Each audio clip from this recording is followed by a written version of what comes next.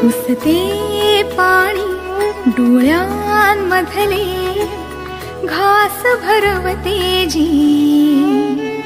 ती आई पुसते पाणी डोळ्यांमधले घास भरवते जी। आई? बोल बोबडे शिकवीत सारे।